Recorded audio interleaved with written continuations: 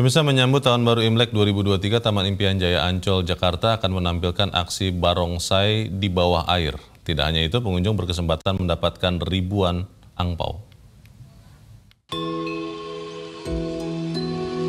Menyambut tahun baru Imlek 2023, Taman Impian Jaya Ancol menampilkan barongsai di bawah air yang digelar di SeaWorld Ancol. Tak sekedar menampilkan atraksi berkostum mencolok, pentas barongsai ini juga mengisahkan dongeng Dewi Bulan dan Tabib Kelinci.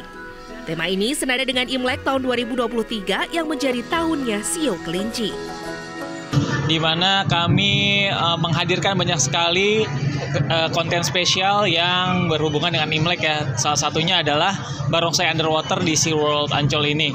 Di mana barongsai underwater ini akan tampil di SeaWorld pada tanggal 21, 22 dan 28 29 Januari 2023. Penampilan barongsai ini dimainkan oleh sekitar enam penyelam profesional dengan dua barongsai dan satu liong dan di darat akan dihadirkan dua barongsai. Tidak hanya pentas barongsai di bawah air, pengunjung Ancol khususnya di dunia fantasi juga akan mendapat kesempatan mendapat ribuan angpau, kungfu show, dan parade akbar spesial Imlek, serta berbagai atraksi lainnya di kawasan wisata Ancol.